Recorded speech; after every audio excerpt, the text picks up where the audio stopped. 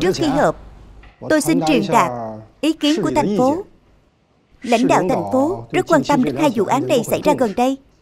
Vụ thứ nhất, hiện trường vụ án liên quan đến công trình thí điểm của thành phố. Vụ thứ hai liên quan đến vụ án mạng cách đây 6 năm Hiện trường vụ án khập sọ cũng có liên quan đến 6 năm trước. Chính quỷ chưa nói xong mà cậu nói leo rồi. Không sao.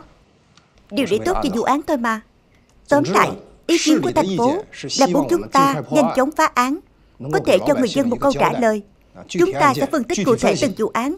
Tiếp theo, đồng chí Giang Hà sẽ chủ trì Được Bao, nói nhanh về tình hình của Triệu Minh Lượng đi. Vợ Triệu Minh Lượng đã đưa con rời đi từ chiều hôm qua. Từ đó đến nay Triệu Minh Lượng cũng không về nhà thêm lần nào. Điều hắn không có bắt trắc gì chứ? Bắt trắc gì chứ?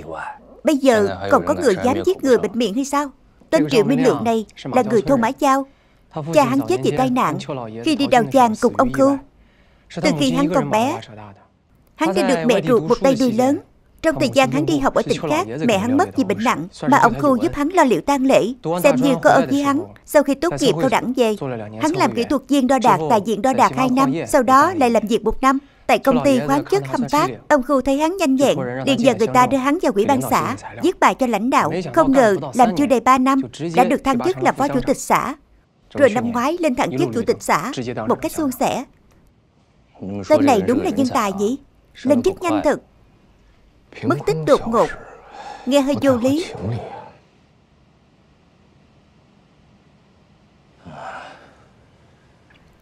Vậy có thả Ngô Kiến Thiết không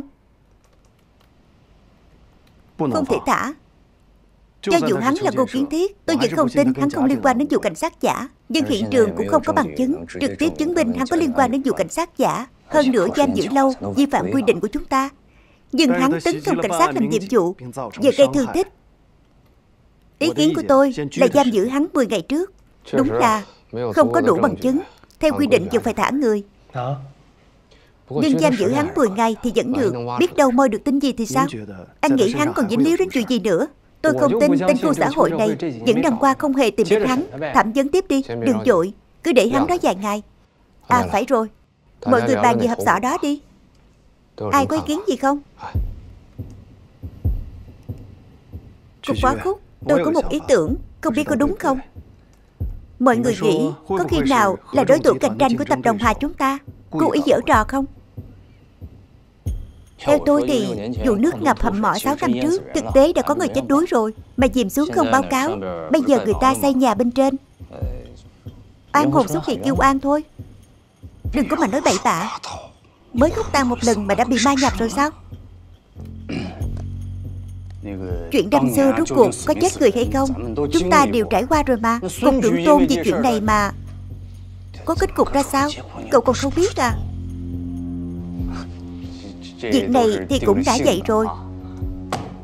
Cứ nhắc đến cục trưởng tôn Là tôi lại thấy rất quan ức cho anh ấy. Người khác không biết chứ chúng ta cũng không biết sao. Cả đời làm việc cẩn trọng Quang minh lỗi lạc. Anh ấy có thể làm ra chuyện như vậy sao? Phải không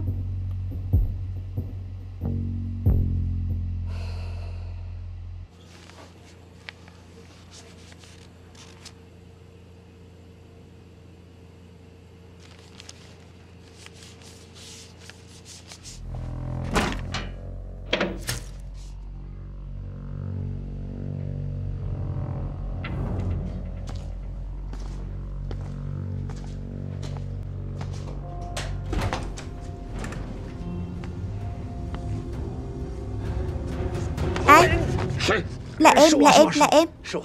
Giang Hà. Thầy Cái này cho thầy. Thầy đúng là càng già càng phong độ. Chỉ một đòn đã ghi chặt em rồi. Thật ranh này gan to thật đó.